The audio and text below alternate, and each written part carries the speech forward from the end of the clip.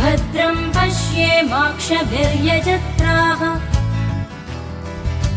स्थिरैरङ्गैः स्तुष्टुवागुंसस्तनूभिः यशेम देवहितं यदायुः। स्वस्ति न इन्द्रो वृद्धश्रवाः स्वस्ति न पूषा विश्ववेदाः।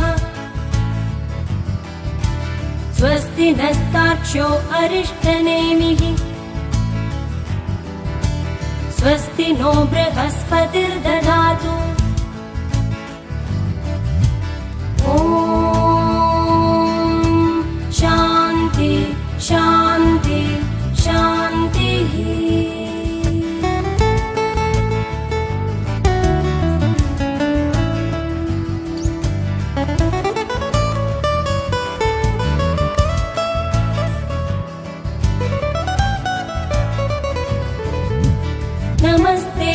गणपतये त्वमेव त्वमेव केवलम् कर्तासि। त्वमेव केवलम् धर्तासि। त्वमेव केवलम् हर्तासि। त्वमेव सर्वम् खल्विदम् ब्रह्मासि।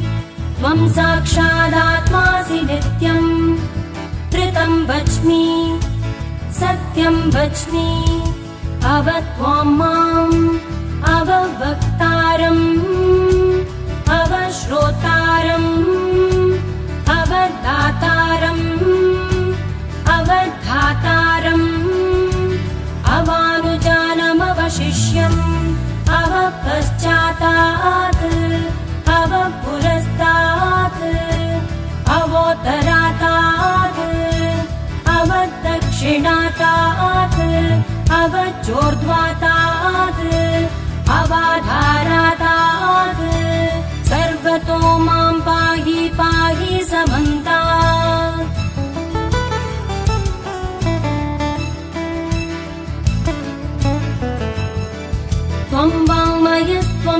चिन्मयः त्वम् आनन्दमयस्त्वम् ब्रह्ममयः त्वम् सच्चिदानन्दद्वितीयोऽसि त्वम् प्रत्यक्षम् ब्रह्मासि त्वम् ज्ञानमयो विज्ञानमयोऽसि। सर्वम् जगदिदम् त्वत्तो जायते सर्वम् जगदिदम् त्वत्तस्तिष्ठति सर्वम् जगदिदम् त्वयि लयमेष्यति। सर्वम् जगदिदम् त्वयि प्रत्येति त्वम् भूमिरापो नलो निलो नभः। त्वम् चत्वारि वा पदानि। त्वम् गुणत्रयातीतः। त्वम् अवस्थात्रयातीतः। त्वम् देहत्रयातीतः। त्वम् कालत्रयातीतः त्वम् मूलाधारस्थितोऽसि नित्यम्। त्वम् शक्तित्रयात्मकः त्वाम् योगिनो ध्यायन्ति नित्यम्। त्वम् ब्रह्मा त्वम् विष्णुस्त्वम् रुद्रस्त्वम् इन्द्रस्त्वम् अग्निस्त्वम् वायुस्त्वम् सूर्यस्त्वम् चन्द्रमास्त्वम् ब्रह्मभूर्भुवः सुवरो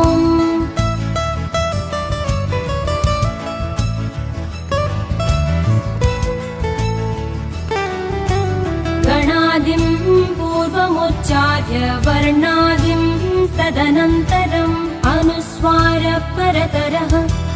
अर्धेन्दुलसितम् तारेण ऋद्धम् एतत्तव